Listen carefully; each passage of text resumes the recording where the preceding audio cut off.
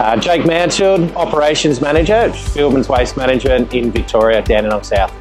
We have purchased a M&K static recycling plant to process C&D waste. Transform the business quite dramatically in the way of processing material in a lot faster, efficient way, a lot safer for staff and produced products are a lot cleaner for further recycling. The plant's in, increased our recovery rate is probably 75% more than what we were previously doing. So efficiency wise for, for us, we can process probably up to 10 times more per day than what we were receiving prior to the actual plant being installed.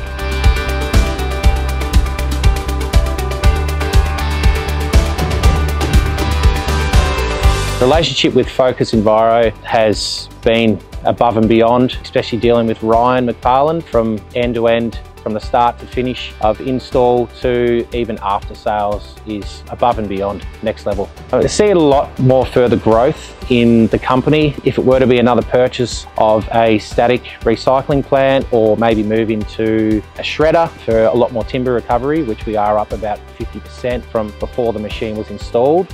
So that might be the next venture for us, but we're not stopping here.